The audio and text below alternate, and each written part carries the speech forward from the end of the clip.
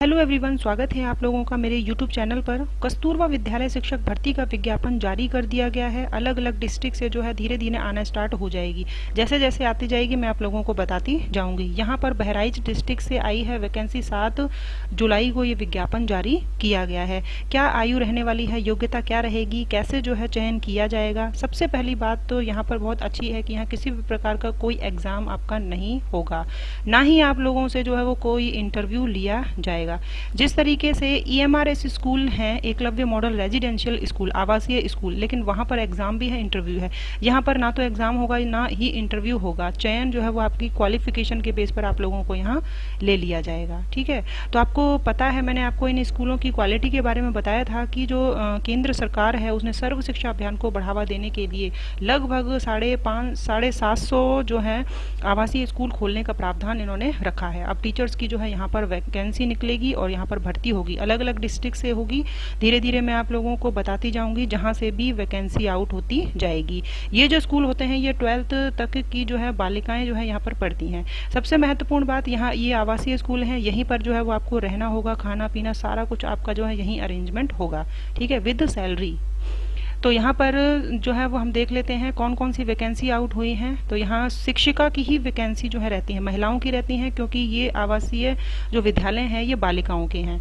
तो यहाँ पर देख लेते हैं, सबसे पहली है, देखिए, पूर्णकालिका शिक्षिका हिंदी। यानी हिंदी के लिए अगर आपको अप्लाई करना है तो यहाँ आपकी शैक्षिक योग्यता मांगी गई है ग्रेजुएशन आपने हिंदी या संस्कृत में किया हो, और साथ में आपने टैट जो है वो उच्च प्राथमिक स्तर का। उच्च प्राथमिक स्तर का मतलब क्या है कि यहाँ पर जो आपका टैट मांगा गया है वह आपका सेकंड पेपर जो है वो आपने पास किया होना चाहिए। पूर्णकालिका शिक्षिका सामाजिक विज्ञान के लिए यहाँ पर जो ऑप्शन है, भूगोल, इतिहास और नागरिक शास्त्र इन तीनों में से केवल और केवल एक विषय एक विषय जो है वो आपने स्नातक में, आपने ग्रेजुएशन में पढ़ा है तो आप यहाँ पर अप्लाई कर सकते हैं। पूर्णकालिका शिक्षिका गणित में जो है वो आपने PCM physics chemistry math stream से जो है वो आपने ग्रेजुएशन किया हो। साथ में आपने टैट का पेपर टू पास कर रखा हो। पूर्णकालिका शिक्षिका विज्ञान की अगर हम बात करें तो जेड बीसी वर्ग से प्रशिक्षित स्नातक या उच्च प्राथमिक स्तर की जो है टेट आपने पास की हो। यहाँ पर ऐसा जो है नहीं लिखा है कि जो है उसी स्टेट की टेट पास होनी चाहिए। यानी अगर आपने जो है वो टेट, सी टेट भी पास किया है पेपर टू तो आप लोग यहाँ पर एलिजिबल हो। पूर्णकालिका शिक्षिका अंग्रेज़ी की अगर हम बात करें तो यहाँ अंग्रेज़ी से आपने ग्रेजुएशन प्रशिक्षित स्नातक और उच्च प्राथमिक स्तर की टीईटी e आपने पास की हो। और यहाँ पर जो वेतन मिलेगा आप लोगों को, वेतन जो है बाईस हज़ार है सभी पोस्ट के लिए, ठीक है? बाईस हज़ार है सभी पोस्ट के लिए तो आप देख सकते हैं। और यहाँ पर जो है वो केवल और केवल महिला जो है वही अप्लाई कर सकती है। आपको पता है बालिका विद्यालय है ये तो यहाँ पर केवल और महिलाओं की ही वैकेंसी निकली है। और ये मैंने आपको बता दिया, यहाँ किसी भी प्रकार का कोई एग्ज़ाम नहीं और कोई इंटरव्यू नहीं। अंशकालिक शिक्षिका। अब ये जो है, अभी जो मैंने आपको बताई थी जितनी भी तो ये सारी पूर्णकालिक शिक्षिका थी परमानेंट थी। अब जो है यहाँ पर पार्ट टाइम के लिए, यानी अंशकालिक जो शिक्षिका है, वह कंप्यूटर के लिए निकाली गई है, जहाँ पर पीजीडीसीए यानी प्रशिक्षित स्नातक कर रखा हो आपने, या पीजीडीसीए कर रखा हो diploma B BCA BSc computer science स्नातक, या फिर आपने डीओई एसीसी या इसके जो है समकक्ष आपने ओ लेवल या ए लेवल का डिप्लोमा कर रखा तो यहाँ पर डिप्लोमा मांगा है कंप्यूटर का, यहाँ पर अट्ठानवे सौ आपका जो है पेमेंट रहने वाला है। क्योंकि अंशकालिक है तो यहाँ पर कम समय आपको देना होगा। और अंशकालिका शिक्षिका के लिए जो है यहाँ पर रहने की जो है सुविधा जो है यहाँ पर मेरे ख्याल से अंशकालिका के लिए तो नहीं होगी, परमानेंट वाले के लिए तो रहती ही है। तो अंशकालिक शिक्षिका जो है कला, क्राफ्ट और संगीत गृह शिल्प तो यहाँ पर जो है स्नातक उपाधि मांगी गई है, सहित प्रशिक्षण उपाधि। महिला जो को जो है अट्ठानवे सौ रुपए यहाँ पर दिए जाएँगे। लेखाकार की वैकेंसी है जहाँ पर कॉमर्स में जो है आपने ग्रेजुएशन कर रखी हो और इसके साथ जो एमएस ऑफ़िस पर जो है कार्य करने का आपको अनुभव हो, यहाँ ग्यारह हज़ार रुपये आपको मिलेंगे। मुख्य रसोईया, चपरासी, चौकीदार और सहायक रसोईया।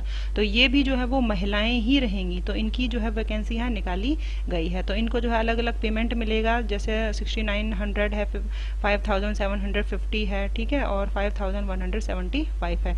तो कुल जो है वो फोर्टी थ्री वैकेंसी जो है यहाँ पर बहराइच डिस्ट्रिक्ट से आई है। एज क्राइटेरिया की अगर हम बात करें तो आप देख सकते हो न्यूनतम आयु जो है वो 25 वर्ष रहनी चाहिए और अधिकतम आयु जो है यहाँ पर 45 वर्ष से अधिक ना हो। ठीक है? 45 वर्ष तक के अगर आप हैं तो आप यहाँ पर अप्लाई कर सकते हो। और देखिए, यहाँ पर महत्वपूर्ण चीज़ क्या है कि रिक्त पदों की संख्या जो है वो घट बढ़ सकती है। यानी 43 जो यहाँ पर निकली है वैकेंसी एक ही डिस्ट्रिक्ट में निकली है 43 और अलग अलग डिस्ट्रिक्ट में ऐसे ही निकलेगी तो एक स्टेट में काफ़ी संख्या हो जाएगी टीचर्स की वैकेंसी की। तो यहाँ पर लिखा है कि अगर जो है बाद में कस्तूरबा गांधी बालिका विद्यालय में कार्मिकों की संविदा पर जो है नवीन नियुक्ति अगर होती है तो केवल महिला जो है अभ्यर्थी इसी को ही यहाँ पर चयन किया जाएगा। उसके बाद देखिए, किस तरीके से जो है वो आप अप्लाई करोगे तो यहाँ पर जो है इसको पढ़ लेंगे आराम से। 22 सात 2023 5 बजे तक जिला परियोजना कार्यालय, जिला बेसिक शिक्षा अधिकारी बहराइच में निर्धारित शर्तों के अधीन आवेदन पत्र आमंत्रित किए जाते हैं। तो 22 सात 2023 तक ही जो है वो आप एप्लीकेशन कर सकते हो। ऑनलाइन नहीं होगा ऑफलाइन ही होगा। आवेदन पत्र जो है वो केवल पंजीकृत डाक हो तो रजिस्टर्ड पोस्ट होगी या स्पीड पोस्ट जो है वो हम कहते हैं तो उसके द्वारा ही आप लोगों को करना है, नॉर्मल पोस्ट आपको नहीं करनी है। ठीक है? नहीं तो आपका जो है वो पहुंचेगा ही नहीं आवेदन पत्र। आवेदन करने से पूर्व अभ्यर्थी उक्त विवरण को अवश्य देखे और आवेदन पत्र का जो प्रारूप है उसको डाउनलोड करके निर्धारित प्रारूप पर ही आवेदन करे। आवेदन करने के लिए आपको मेन साइट पर आना है, बहराइच उत्तर प्रदेश में है। जैसे ही आप जो है इसकी मेन साइट पर गए तो ये पेज ओपन हुआ जहाँ पर विज्ञापन जारी हुआ है आठ सात दो हज़ार तेईस को, ठीक है? Release office of district basic education officer Bahraich. यहाँ पर फ़ाइल दी हुई है, व्यू पर आप क्लिक करेंगे, पूरा पेज जो है वो ओपन हो जाएगा। चार पेजों का जो है पीडीएफ जिसमें ऊपर जो है वो सारे इंस्ट्रक्शन जो है वो दिए गए हैं, कैसे करना है, ठीक है? सारी चीज़ें जो है वो आप लोग अच्छे से पढ़ लेंगे और बाद में जो है ये पूरा जो बायोडाटा है, इसको आप भर कर और स्पीड पोस्ट कर देंगे अपने सिग्नेचर करने के बाद। Thank you